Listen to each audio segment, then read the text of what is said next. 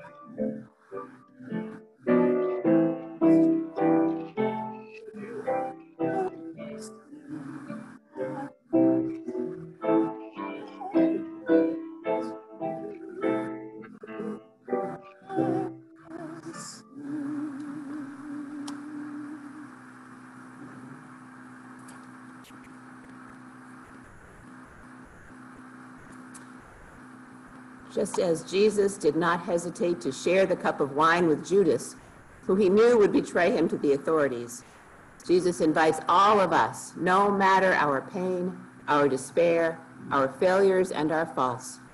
Jesus says, Come and eat with me, for this grace can transform you. Let's pray together after a moment of silence.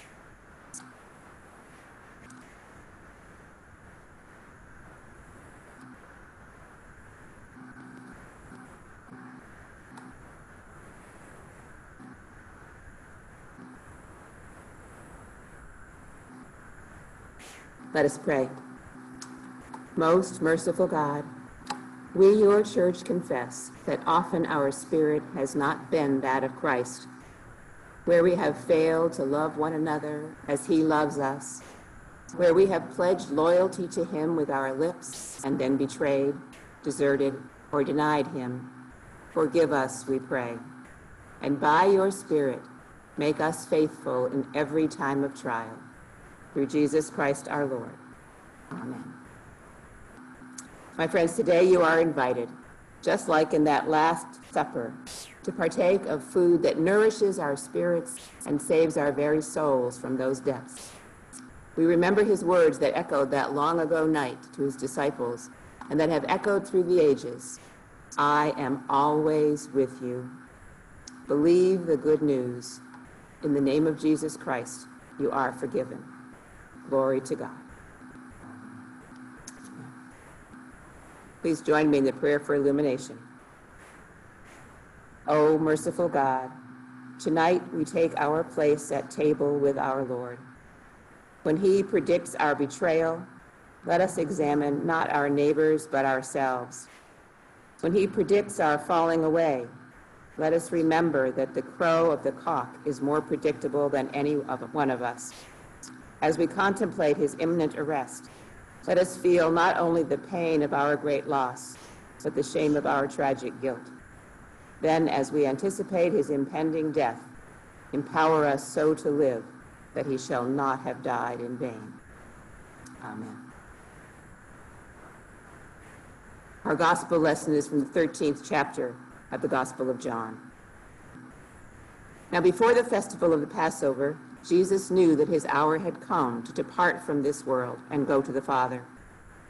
Having loved his own who were in the world, he loved them to the end. The devil had already put it into the heart of Judas, son of Simon Iscariot, to betray him.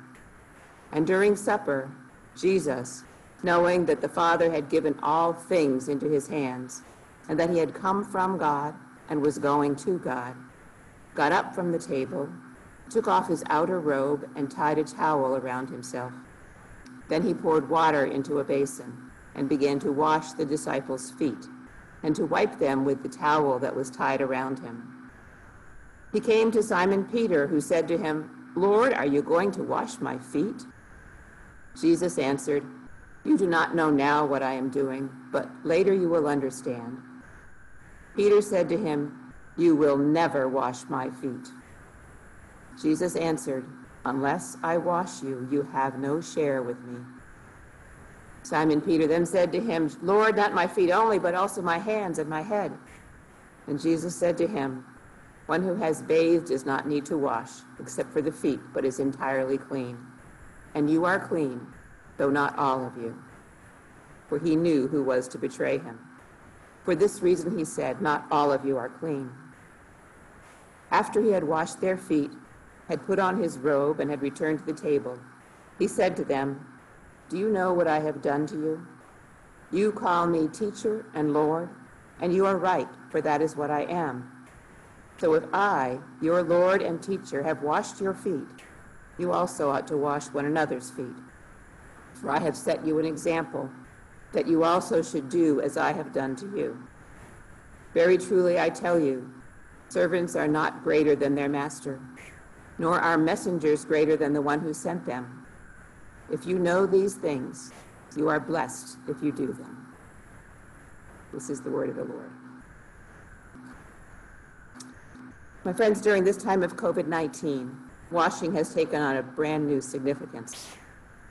While we no longer need to wash feet as we come in from outside, we are newly aware of the value of hand washing.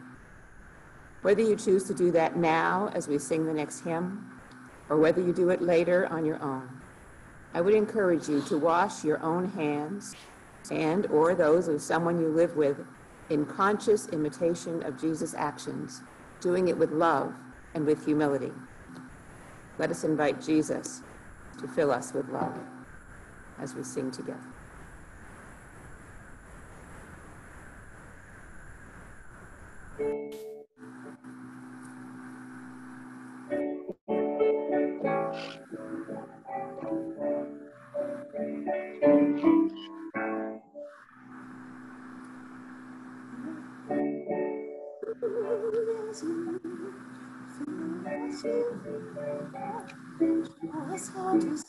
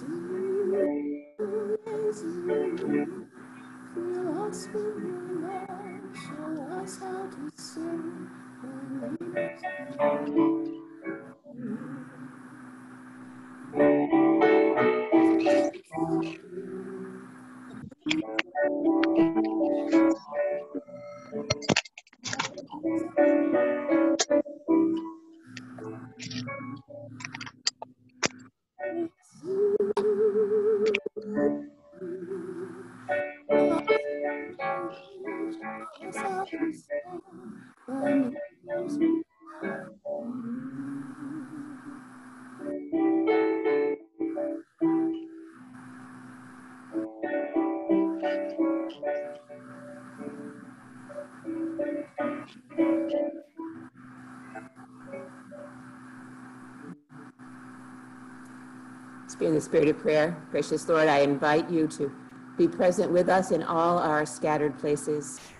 Be in our hearts as if we were one. Teach us your word. Fill us with your love.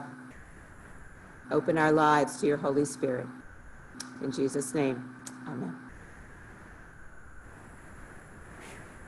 With gratitude to John M. Brayton, I bring you this evening's message about this day that we call Maundy Thursday. We gather tonight in our separate places to recall in our hearts and minds the events that occurred on Thursday of what the church calls Holy Week, the last week in the life of Jesus. Jesus loved to paint portraits for the soul. He did it through his actions as well as his words. His whole life was a powerful illustration. On this particular night, the image that Jesus will etch into the memories of his disciples will be so powerful that they will never again be able to think of him without reference to this event. The disciples have gathered together in a home. Whose home we are not told, but we do know that it had a furnished second floor where they went for the Passover Seder. Writer Walter, Walter Wangerin suggests that the atmosphere of that evening was shrouded in mystery and filled with intrigue. There was the meal held in secret and the carefully plotted plan. Listen, the householder said, let's use a signal. I'll send a man with a jar of water through the city. Now, usually it would be a woman carrying a jar of water. Men would bear, bear the wineskins. So that was a pretty clear signal. He said, Have your disciples follow him. No words, no talk, and I'll furnish the upper room. The stage was set. The time was ripe. One by one, the disciples came, trudging along dusty streets to celebrate the Passover with Jesus. It was to be their last supper with him. They entered the house and waited for the Lord to come. As they sat there, they began to quarrel. They were quarreling over who would be the greatest among them in the kingdom that Jesus, the Messiah, was going to establish. They wondered which one of them would be in what role in the king's cabinet. Who would be in the position of greatest power? Who would have the Messiah's ear at a time of political or religious crisis? Each had reasons for assuming that they would play a major role. Certainly, the enthusiastic demonstration of the people, which accompanied Jesus' entry into Jerusalem, would thrust Jesus into the political forefront and initiate the coming of his kingdom. They were sure of it. That discussion apparently prevented them from carrying out the usual foot cleansing, which usually happened when one entered a room. And because the roads were dirty and dusty, and because people wore sandals, everyone who came into the house entered with filthy feet.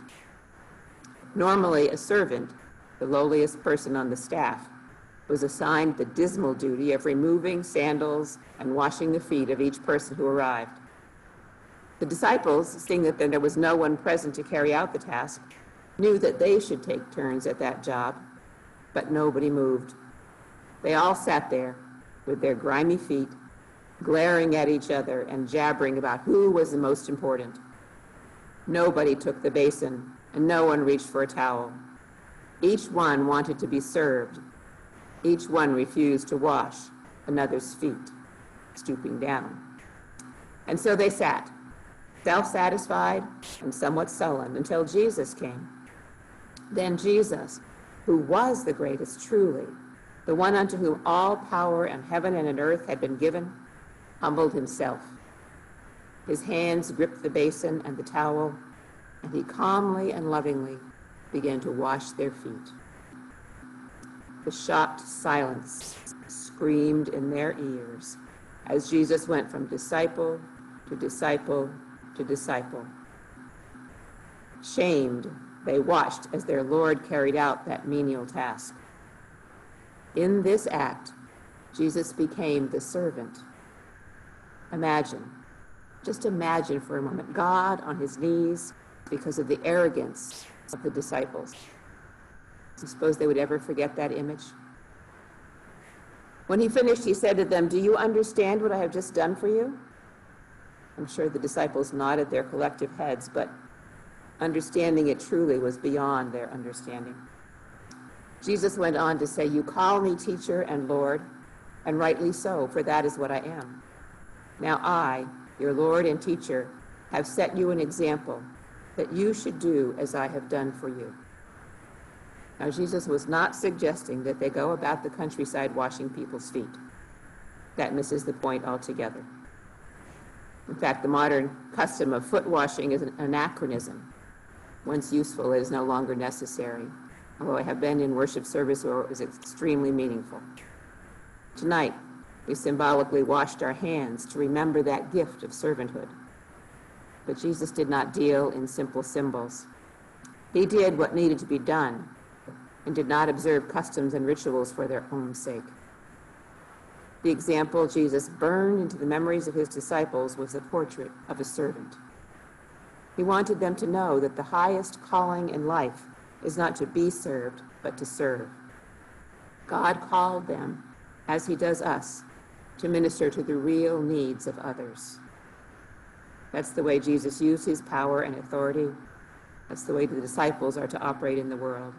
That's the way we, as his disciples today, are to operate in this world. To ensure that they understood, Jesus said, Gentiles lord it over others, but it shall not be so with you.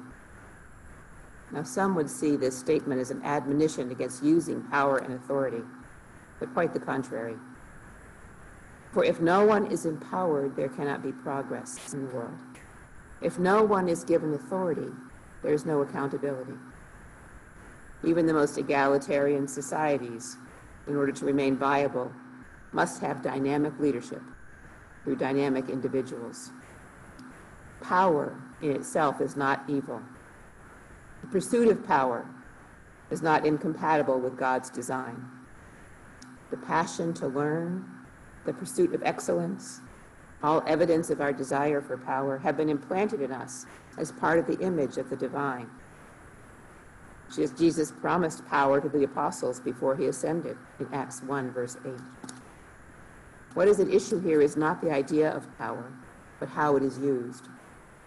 Jesus saw power not as an instrument of control, but of caring, as a vehicle not of submission, but of servanthood. Would that we could all see it that way. Would that we could see it that way being used by those who are in power and authority in our world. Jesus had given his disciples a powerful image to remember him and a model for living a life of faithfulness. And then, while they were at table, he gave them an even more powerful image as he shared the bread and the wine with them. I can imagine another shocked silence as the significance of what he is doing slowly sinks in. Jesus reached out for the basin and the towel to serve the disciples. He offers them the bread of his body and the wine of his blood, even though he knew them well enough to know that each one of them would betray him and desert him before the night is over. While the disciples were thinking of themselves, Jesus, in whom the power of God lived, emptied himself and gave himself to those for whom he cared. He didn't worry about himself, how he felt, whom he could impress. In his humble but powerful way, Jesus began to transform the thinking of his disciples. Each time that we gather at table, we see again the symbolic portrait painted by the Lord centuries ago in that upper room. The scene drawn by Jesus that night in the upper room was one of a powerful servant motivated by an unrelenting love. In that moment, the disciples were given an illustration of such impact that it would remain in their memories as long as they had breath. He loved without embarrassment. He loved without reservation. He loved without requiring love in return. And he says to us, as he said long ago to the disciples, Do you know what I have done? I have given you an example that you also should do as I have done to you. So that as I was sent to serve, so I also send you. That portrait could not be clearer. I invite you into a few moments of silent meditation and then prayer. Let us pray.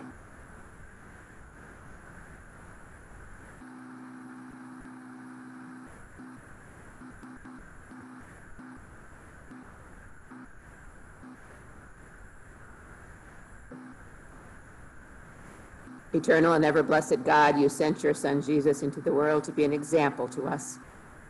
Help us to walk in his steps. Help us to walk in his humility, so that we too may be among our fellows as those who serve. Help us to walk in his forgiveness, so that we too may forgive as we hope to be forgiven. Help us to walk in his courage, so that nothing may ever deflect us from the way we ought to take. Help us to walk in his endurance, so that nothing may daunt or discourage us until we reach our goal. Help us to walk in his loyalty, so that nothing may ever seduce our hearts from our devotion to him. Help us to share in the life that our Lord once lived on earth, so that we may also share the life he gives in his risen power. Grant that it may be our sustenance to do the will of our Father who is in heaven Grant us to take up whatever cross is laid upon us and gladly and gallantly carry it. And grant that, as we share his cross, so we may also share his crown. And as we share his death, so we may also share his life. And grant that having suffered with him, we may also reign with him. We ask all this for your love's sake. Amen.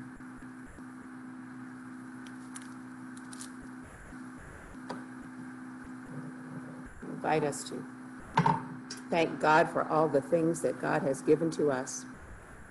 And let's dedicate the offering together. Gifting God, all that we have came from you. All that we are was first a part of you. These gifts and tithes we present now are but simple tokens of the riches you first gave to us. Take our pledges and use them for the work of the church. In the precious name of Jesus we pray. Amen.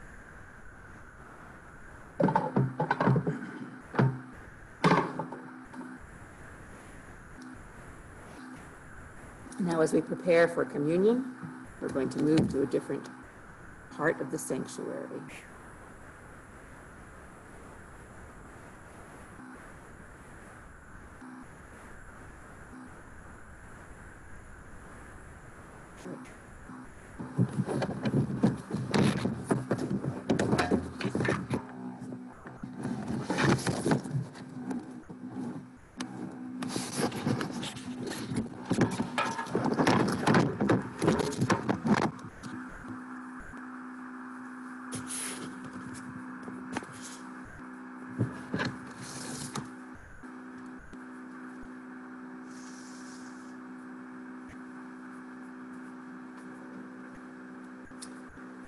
1 Corinthians 11, verses 23 to 26, Paul writes, For I received from the Lord what I also handed on to you, that the Lord Jesus, on the night when he was betrayed, took a loaf of bread, and when he had given thanks, he broke it and said, This is my body that is for you.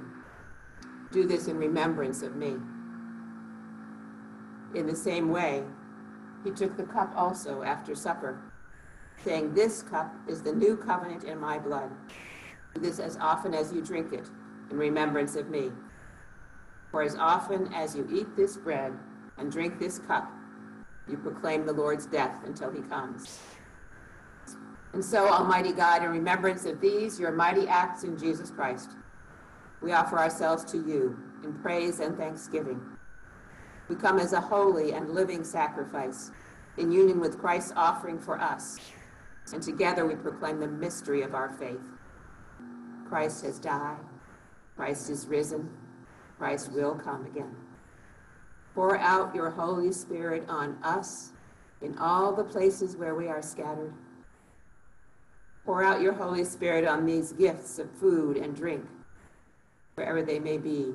Lord, make them holy for us, as the body and blood of Christ is holy, so that we may be for the world, as the body of Christ redeemed by his blood. By your Spirit, make us one, one with Christ, one with each other, and one in ministry to all the world, until that day when Christ comes in final victory and we feast at his heavenly banquet.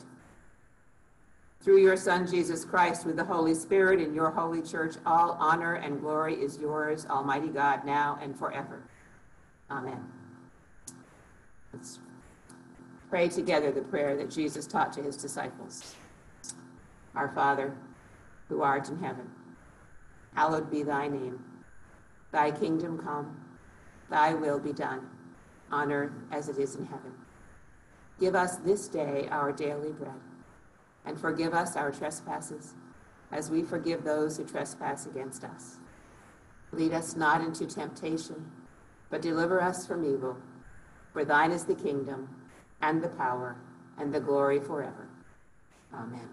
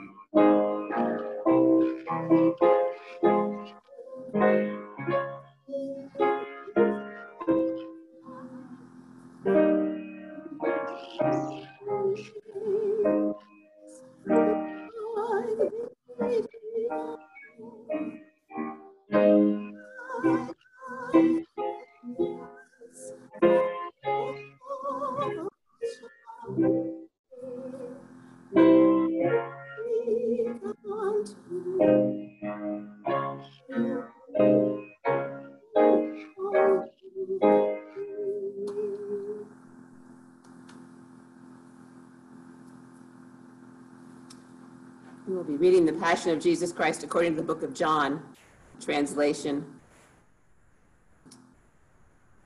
Excuse me, yes. Oh, by James Charlesworth, sorry. He- He translated it with special sensitivity to the Jewish origins of Christianity.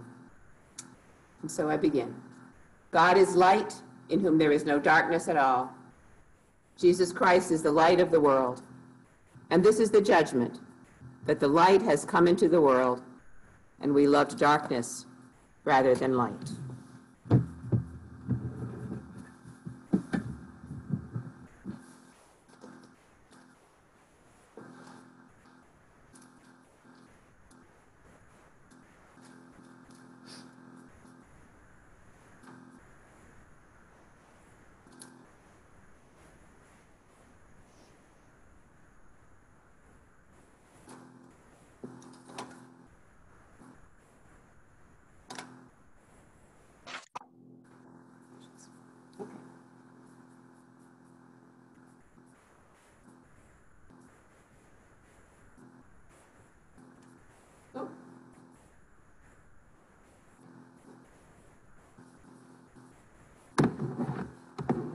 You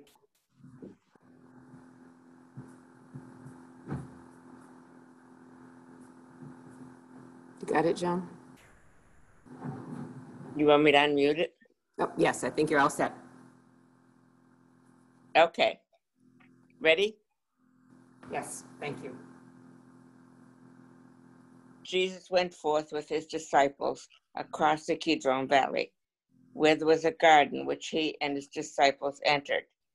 Now Judas, who betrayed him, also knew the place, for Jesus often met there with his disciples. So Judas, procuring a band of soldiers and some officers from the chief priests and the Pharisees, went there with lanterns and torches and weapons. Then Jesus, knowing all that was to befall him, came forward and said to them, Whom do you seek? They answered him, Jesus of Nazareth. Jesus said to them, I am he. Jesus, who betrayed him, was standing with them. When he said to them, I am he, they drew back and fell to the ground. Again he asked, Whom do you seek? And they said, Jesus of Nazareth. Jesus answered, I told you that I am he. So if you seek me, let these men go. This was to fulfill the word which he has spoken. I did not lose a single one of those whom you gave me. Then Simon Peter, having a sword, drew it and struck the high priest's slave and cut off his right ear. The slave's name was Malchus. Jesus said to Peter, Put your sword in its sheath. Shall I not drink the cup which the Father has given me?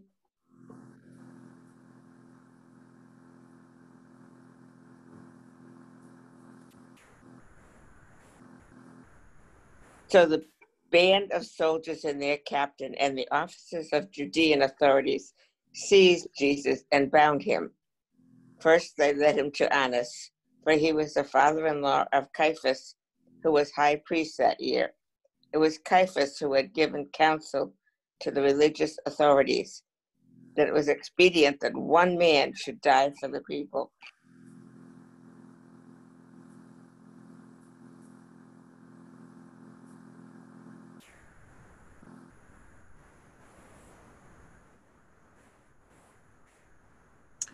Simon Peter followed Jesus, and so did another disciple. As this disciple was known to the high priest, he entered the court of the high priest along with Jesus, while Peter stood outside at the door. So the other disciple, who was known to the high priest, went out and spoke to the woman who guarded the gate and brought Peter in. The woman who guarded the gate said to Peter, Are not you also one of this man's disciples? He said, I am not. Now the servants and officers had made a charcoal fire because it was cold, and they were standing and warming themselves. Peter also was with them, standing and warming himself.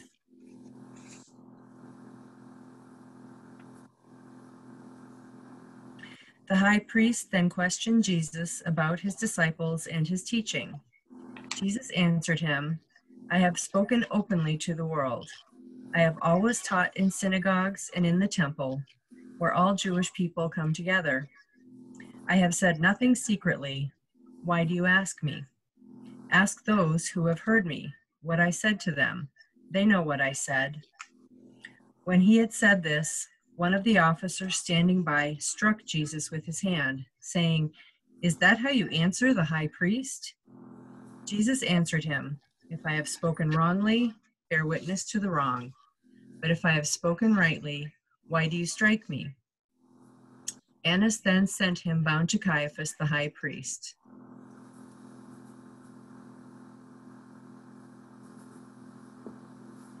Now Simon Peter was standing and warming himself. They said to him, Are not you also one of his disciples? He denied it and said, I am not. One of the servants of the high priest, a kinsman of the man whose ear Peter had cut off, asked, Did I not see you in the garden with him? Peter again denied it, and at once the cock crowed.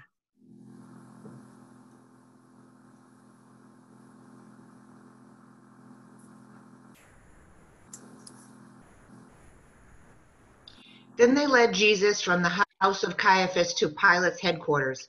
It was early. They themselves did not enter the headquarters so that they might not be defiled, but might eat the Passover. So Pilate went to them and said, What accusation do you bring against this man? They answered him, If this man were not an evildoer, we would not have handed him over. Pilate said to them, Take him yourselves and judge him by your own law. The religious authorities said to him, It is not lawful for us to put any man to death. This was to fulfill the word which Jesus had spoken to show by what death he was to die.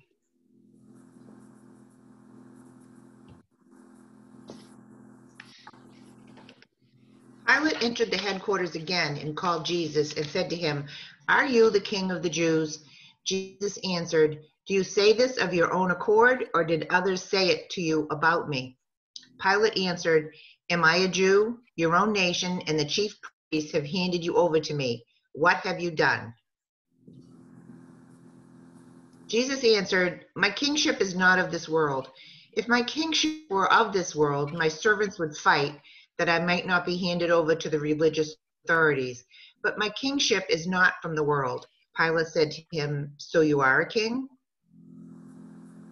Jesus answered, You say that I am a king. For this I was born, and for this I have come into the world, to bear witness to the truth. Everyone who is of the truth hears my voice. Pilate said to him, What is the truth?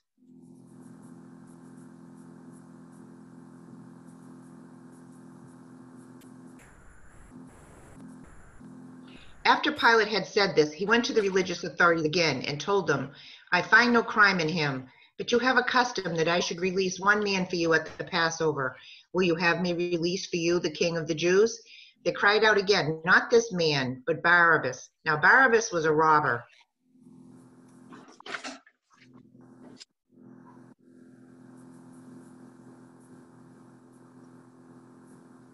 Then Pilate, Go ahead, sorry. then Pilate took Jesus and scourged him. Pilate went out again and said to them, See, I am bringing him out to you, that you may know that I find no crime in him. So Jesus came out wearing the crown of thorns and the purple robe. When the chief priests and the officers saw him, they cried out, Crucify him! Crucify him! Pilate said to them, Take him yourselves and crucify him, for I find no crime in him. He entered the headquarters again and said to Jesus, Where are you from? But Jesus gave no answer. Pilate therefore said to him, You will not speak to me? Do you not know that I have the power to release you and the power to crucify you? Jesus answered him, You would have no power over me unless it had been given you from above. Therefore, he who delivered me to you has the greater sin.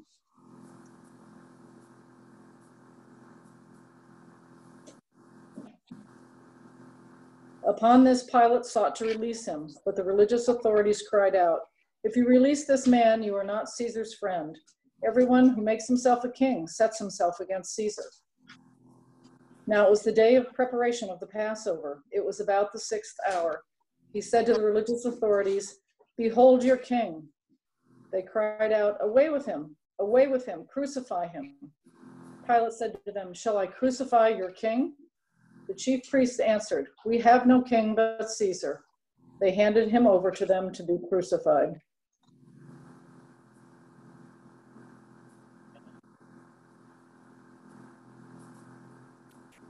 So they took Jesus, and he went out, bearing his own cross, to the place called the place of the skull, which is called in Hebrew Golgotha. There they crucified him, and with him two others, one on either side, and Jesus between them. Pilate also wrote a title and put it on the cross. It read, Jesus of Nazareth, the King of the Jews. Many of the Judeans read this title, for the place where Jesus was crucified was near the city, and it was written in Hebrew, in Latin, and in Greek. The Jewish chief priests then said to Pilate, Do not write the King of the Jews, but this man said, I am King of the Jews. Pilate answered, What I have written, I have written.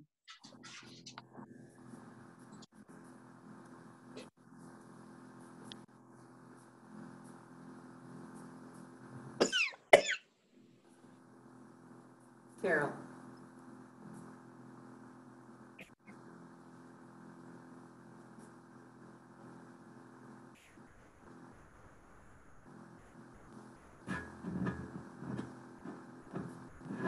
Carol, would you read, please?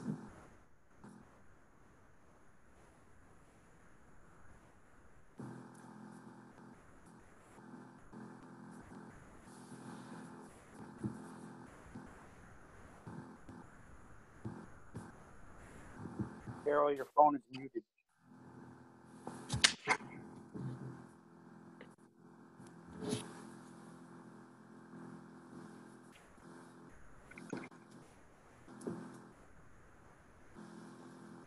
When the soldiers had crucified Jesus, they took his garments and made four parts, one for each soldier, also his tunic.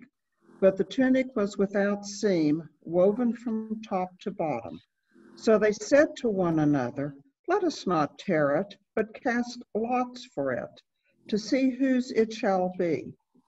This was to fulfill the scripture They parted my garments among them. For my clothing they cast lots.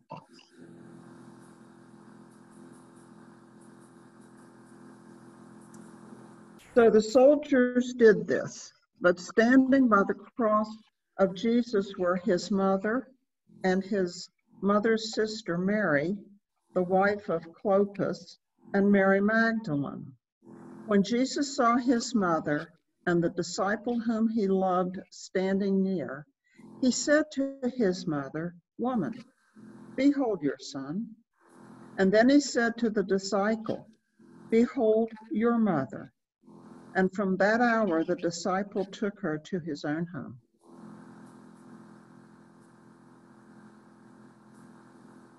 After this, Jesus, knowing that all was now finished, said, to fulfill the scripture, I thirst. A bowl full of vinegar stood there, so they put a sponge full of vinegar on hyssop and held it to his mouth. When Jesus had received the vinegar, he said, It is finished. And he bowed his head and gave up his spirit.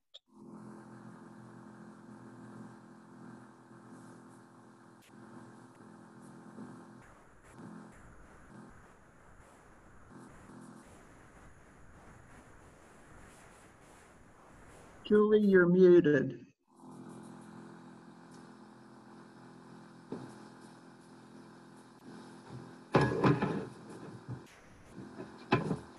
Thank you.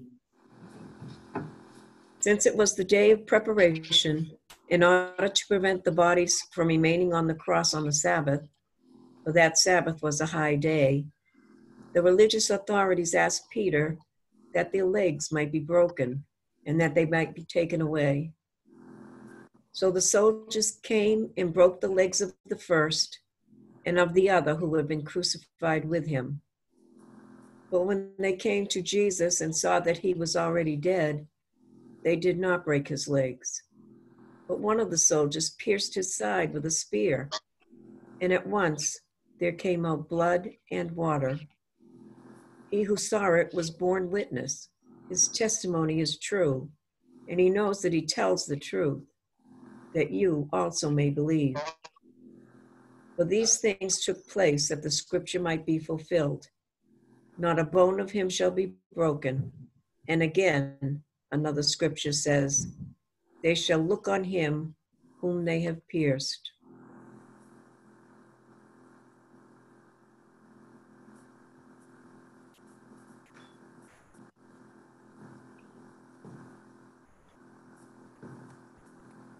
After this, Joseph of Arimathea, who was a disciple of Jesus, but secretly, for fear of the religious authorities, asked Pilate that he might take away the body of Jesus. And Pilate gave him leave. So he came and took away his body. Nicodemus also, who had at first come to him by night, came bringing a mixture of myrrh and aloes, about a hundred pounds weight. They took the body of Jesus and bound it in linen cloths with the spices, as is the burial custom of the Jews. Now, in the place where he was crucified, there was a garden, and in the garden, a new tomb where no one had ever been laid. So, because of the Jewish day of preparation, as the tomb was close at hand, they laid Jesus there. As we sing our next hymn, imagine yourself beneath the cross of Jesus.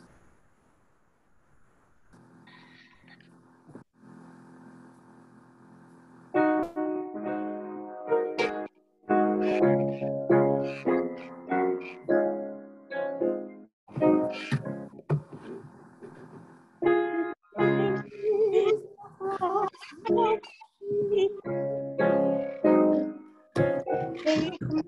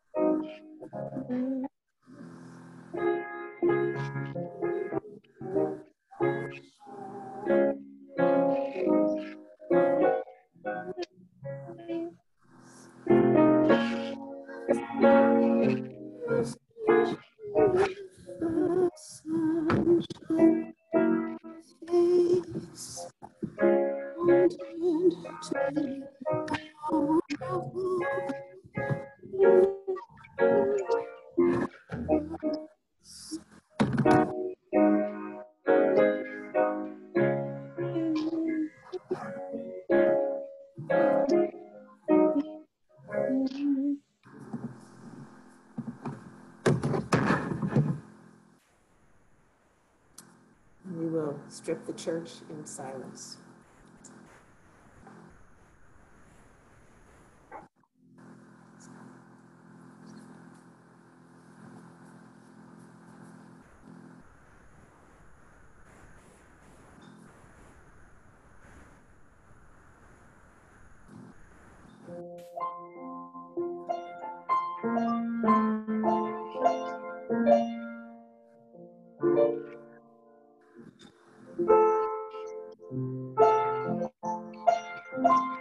Thank you.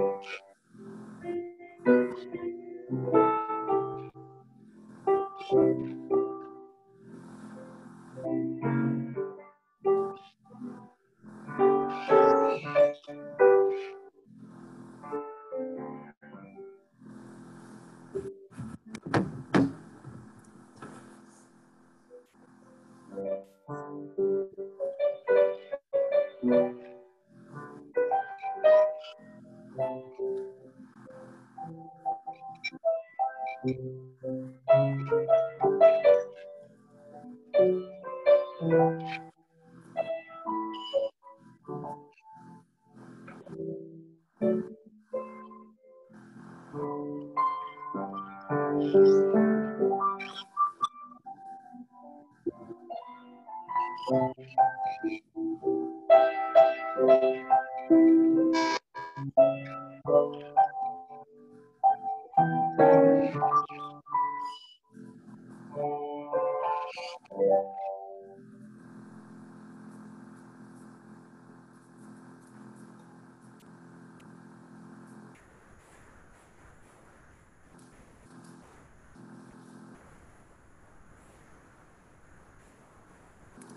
us pray together.